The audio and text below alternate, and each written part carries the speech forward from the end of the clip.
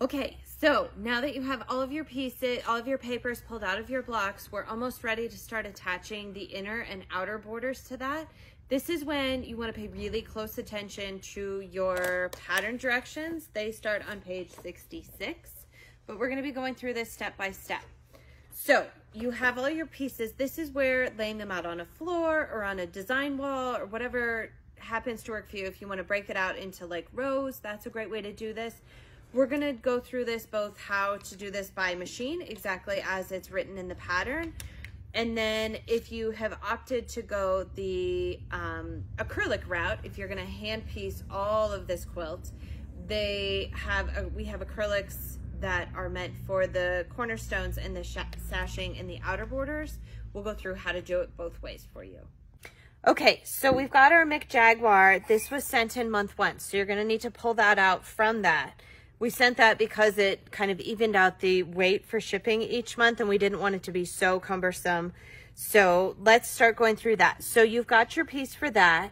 What's going to happen is this is in step two on your page 66 of your Queen of Diamonds pattern. So I've got this at the zero line.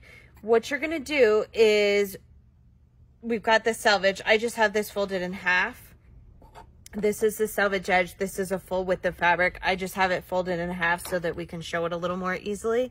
So I'm going to line this up on my zero. We are cutting 16 inch strips of this.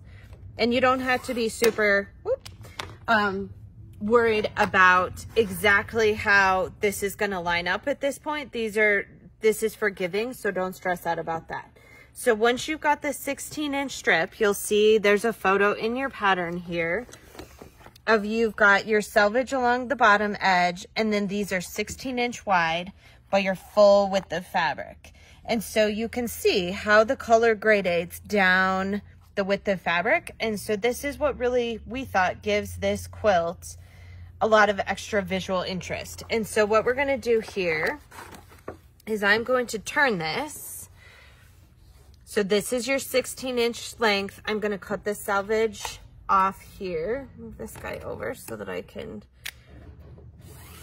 cut that off. This is scrap. We're gonna line this up here. And I'm just gonna start cutting two inch strips of this. And so what you're gonna end up with is basically a whole bunch of two inch by 16 inch strips that are done by color. So you will also notice that on the front side is not completely identical to the back. So I like to lay these out in kind of color families and we'll talk more about that in just a moment. So let me get a few of these cut because basically what you're going to do, and you don't have to do this, this is extra, which sort of just makes your quilt extra. So if it's too much work for you and you just want to get these borders on, that's totally fine. You don't have to color coordinate those to your blocks, but I'm going to say, okay, these are more purpley blocks. This is more of a pinky. This kind of starts to, these are more pink red because what we did with our blocks, and I don't have all of them because they've been sewn into quilts. What we did with our blocks is say, okay, well, this particular block feels more pinks, purples. So what I'm to do is take those borders that are that color. So see, how these feel more red-orange. These you start to get into some of the blue-greens. And so with the previous block where I took all my papers out, I was showing was more green. I'll show you what it does. And get two more of these cut. What it does is it really just creates a border that kind of makes those colors stick out and stand out a little more. So I'll show you the difference if you put, say, the green blue border on that block for this inner piece. Don't stress about like getting the Jaguar's face in there. That'll drive you bananas. So don't, don't worry about that. But with these more green blue ones, let's say that these, this is probably what I would use with that because I like that this blue kind of ties in with these dots. These limey colors really relate to this. If you were to put the red oranges on there, let's just say, it gives it more of a scrappy look. If that's your jam, I say go for it.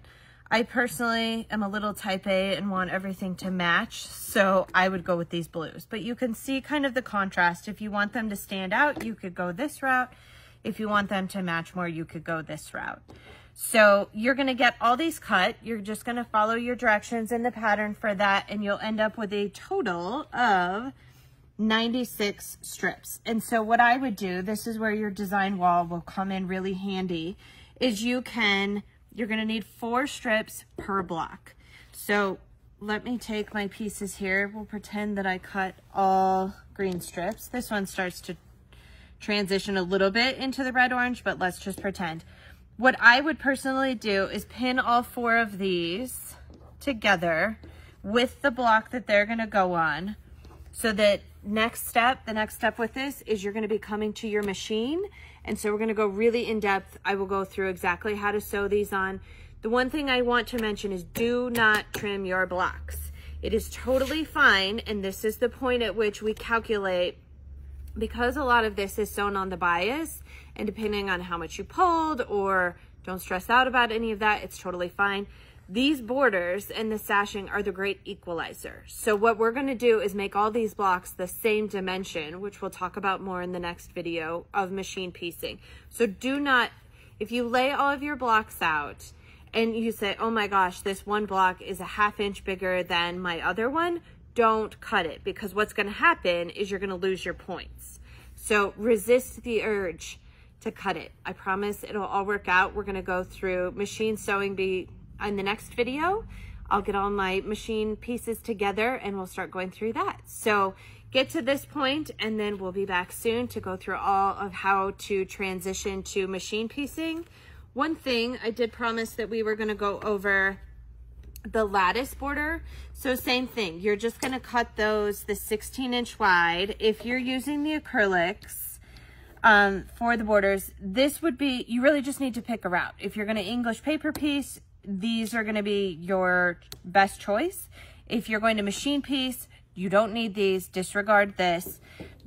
We got a lot of requests that said in the very beginning, we want to make sure, or we want to do our entire quilt machine pieced. And so pick a direction before you start going to town on cutting your sashing because it'll make it a lot easier. So if you're going, this is going to be your inner border piece. If you're going the English paper piece route, you'll see, again, we've talked about how instead of making these really tight um, angles here in the corner, they're dog-eared. That's to reduce the bulk. So you'll see a little dog-ear here, here, here, um, just so that they're not so sharp and running into lots of, you don't need all that, whoops, extra fabric in your seams there. This is where template grips, especially for these long ones, make a big difference so that it doesn't slide. So just keep good tabs on it not sliding around. So if you're going this route, you'll do the same thing. You're just gonna cut those pieces out. This, because of the way I was cutting it, is gonna cut two at a time. Um, and so if you're going this route, you're just gonna cut these out of your Mick Jaguar across that 16 inch width. If you've cut that 16 inch width, you are perfect and just continue marching up that color gradation so that you can do the exact same thing that we were doing here and matching them to your block. So we'll see you soon. Hi friends, it's Diane. I'm here filling in for Chelsea while she's at H&H. Uh, we're going to talk a little bit about where she left off last time We're putting the sashing on our Queen of Diamonds block. Um, she cut the sashing, if you remember. She's got it, we've got it all ready to go, and I'm gonna show you how to machine put this on. Um, as you can tell, a um, little bit different in the background, we are moving. We have a new setup for the new shop. We'll be in in a couple of weeks, but for today, you get us just the way we are. So we'll go ahead and talk about how to apply the sashing to the pieces. Okay, we are going to take the sashing and it's longer than we need, so it's uh, we don't have to worry about positioning it in an exact spot. We are going to put this under the machine and what we need to remember is at this point we are sewing a 3 8 inch seam. If you remember when we when Chelsea showed you that this is where we're sewing and it's 3 eighths inch from there to there. It's not your quarter inch seam. If you sew a quarter inch seam it won't quite work out. So we need to sew the 3 8 inch seam so we get in the block in the right place. So I'm gonna do it from this side, just so you can see that adjustment. And I'm just gonna sew this on. And I do know where on my machine there's a mark that lets me know 3 eighths besides just this mark here. So I'm aware of that. Kind of helps me to keep things the way I want them.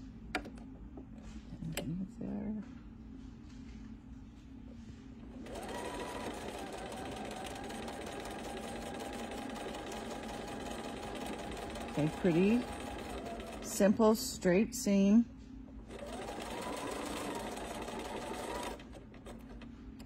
Kind of tucked under a little bit, that's okay. And there we go.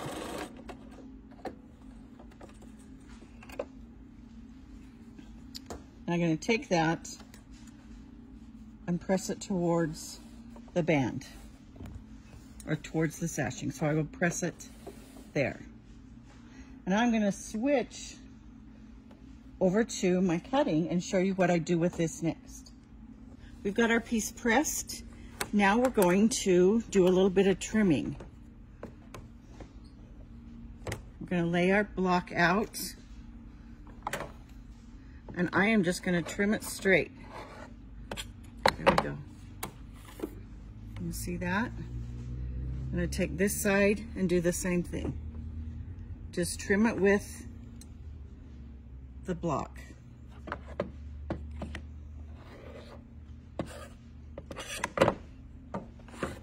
Okay, so now we have this and we're gonna go with our next one. We're gonna set it here, just like we did the other, kind of center it. We'll trim off those ends so it doesn't matter. You have to have it right in this exact spot. Take it to the machine again and sew the next seam on.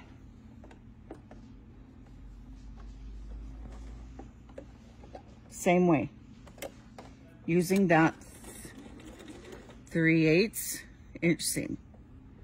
Now we're gonna switch over to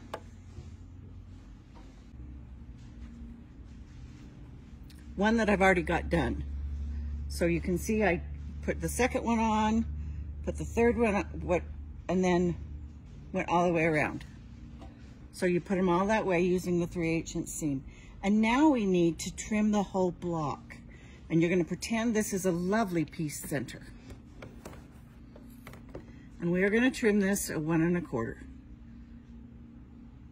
You're gonna put the quarter inch line right there on the seam and I'm going to trim it.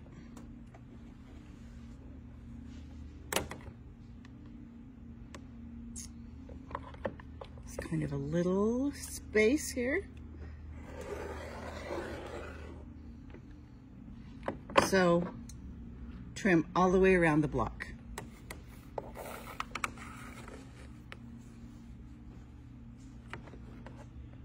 And now it's the correct size for us to go on to the next step.